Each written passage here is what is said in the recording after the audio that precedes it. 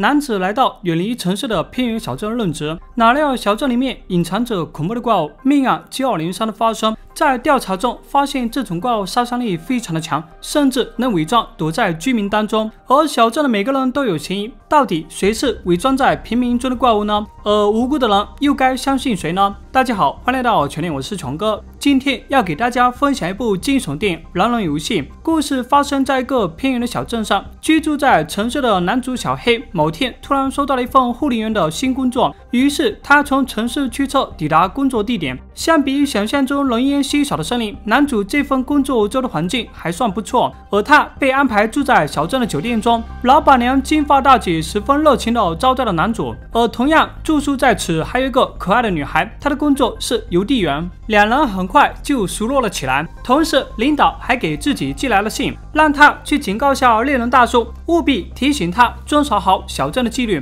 不可随意诱捕。邮递员表示自己正好有个包裹要给猎人大叔，所以热情的他就带着男主顺便参观一下小镇，熟悉一下这边的情况。男主发现小镇的居民都十分的热情友好，尤其是崔西家。其中，女主人崔西还送了男主一个亲手做的玩偶，而她的丈夫也同样热情地送了她可口的糖浆。从表面上看，居民们的生活都幸福安逸，但作为旁观者的邮递员则知晓镇上所有居民的秘密，诸如谁的老公跑了，谁和谁出轨了。接下来，邮递员想着正好让男主趁机认识下猎人大叔，就让他独自一个人去送包裹了。等到达猎人大叔的小屋，男主大声的打招呼和敲门都没人回应，于是自己透过破损的窗户，打算看看里面是否有人。结果被窗户内挂着的榔头给吓了一大跳，然后等到自己一转身，就被突然出现的猎人大叔持枪威胁，要他离开自己的房屋。男主表示自己只是履行自己的职责，毕竟领导写信让自己来处理问题。但无奈猎人大叔态度十分的强硬，直接将男主给吓跑了。而在门口处等待的邮递员，貌似早就了解到这些情况，于是为了弥补男主的惊吓。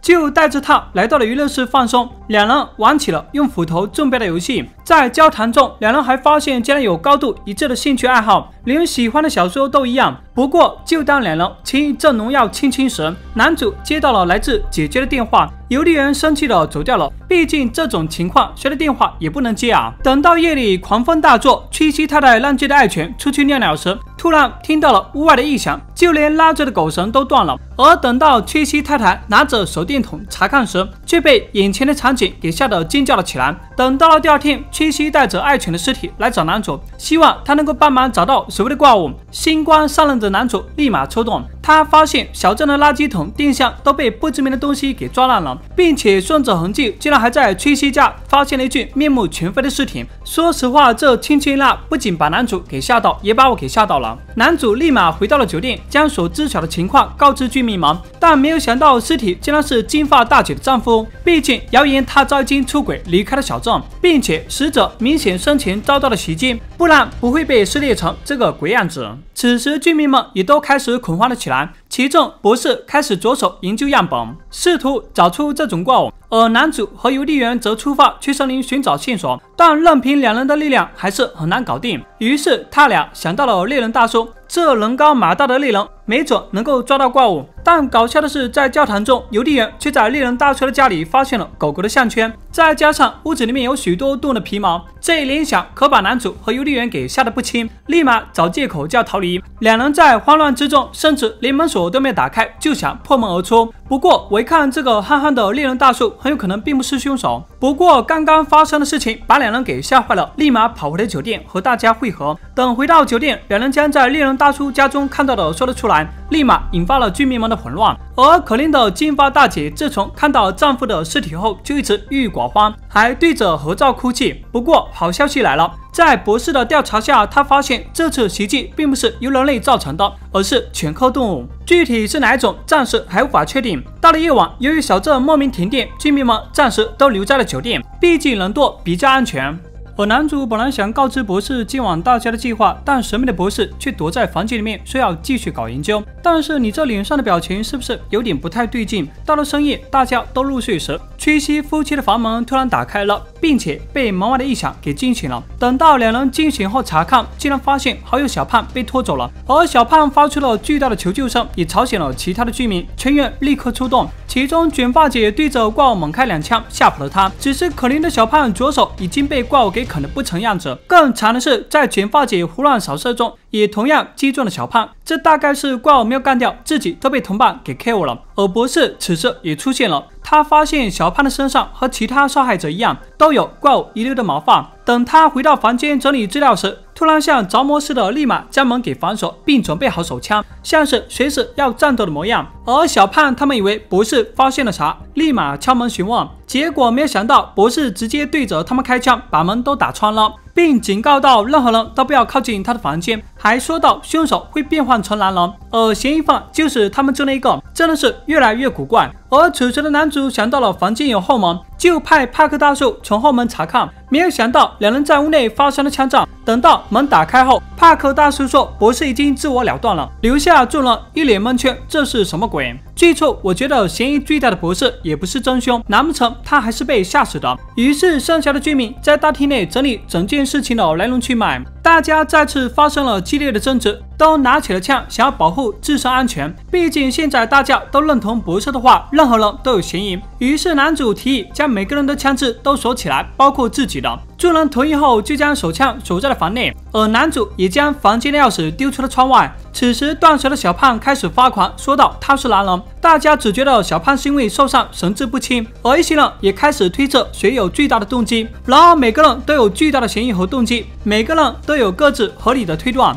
结果就差点打了起来，好在男主用他温情的演讲制止了居民们的互相猜忌，居民们也决定不在酒店继续待着，而是回到各自的家中。而留在酒店的男主和金发大姐因为帕克大叔房间异响前来查看，结果邮递员却意外看见了桌上的报纸，报纸的内容则是男主之前所处的城市凶杀案。而此时男主也从帕克大叔的抽屉里面拿出了匕首。这可把我给吓坏，我还以为反转时男主会是凶手，好像也并不是，而是男主发现了这把沾满鲜血的匕首有着柴油的味道，于是两人赶紧打开地图，发现地图上有着标记的痕迹，看来帕克大叔有很大的嫌疑。果然，另外一边在回家路上的两位居民娘娘腔和她的老公就遭到了袭击，只不过更让我惊奇的是，这次发动袭击的竟然不是帕克大叔，而是看似柔弱的屈西。不过娘娘腔跑得比较快，逃回了酒店，而她的老公。就惨了，在酒店的男主和邮递员也遇到了他们的怀疑对象帕克大叔。此时他已经全副武装，不过他只是为了寻找真正的男人，并没有杀心。而居民杰克此时也开始发疯，给自己的手装备成了男人的模样。这可把男主一行人给吓死了。不过神神叨叨的杰克倒是自己走出了酒店，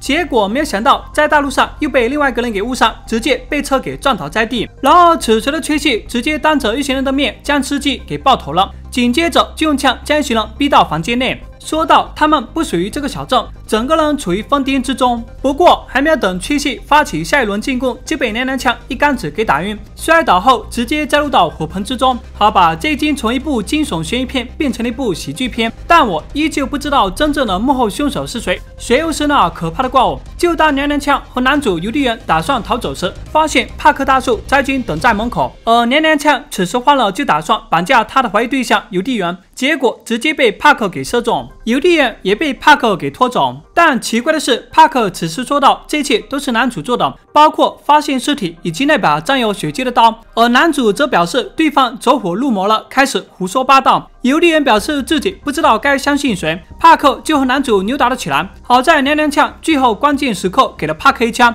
但男主的腹部也受伤了。就当邮递员跑去给男主拿急救箱时，男主意外的发现了一间储物室，正是邮递员的工作室。此时的男主才发现，真正的怪物就是邮递员。邮递员告诉了男主自己杀人的理由，比如干掉金发大姐的老公，原因是镇上不能够存在两个邮递员。而咬断小胖的手，正是因为之前小胖猥琐的碰到了自己。男主由于发现了邮递员的秘密，自然也是躲不过这一劫。于是接下来邮递员就变异了。趴在地上，瞬间变成了男人。好在关键时刻，猎人大叔出现了，但此时的邮递员已经无人可敌，直接将大树举起来丢到了一边。男主见状，只能依靠自己的力量和怪物奋力一搏。好在自己一棍子戳中了邮递员。正当男主和猎人大叔打算庆祝时，邮递员突然满血复活，正打算一跃攻击两人。就在此时，神奇的事情发生了，那就是酒店老板娘金发大姐，她一箭射中了邮递员。这次总算是干掉了这个怪物，三人成功存活。在这个小镇中，看似最没有嫌疑的，却恰恰正是男人，互相猜忌，并且一步步挖掘真相。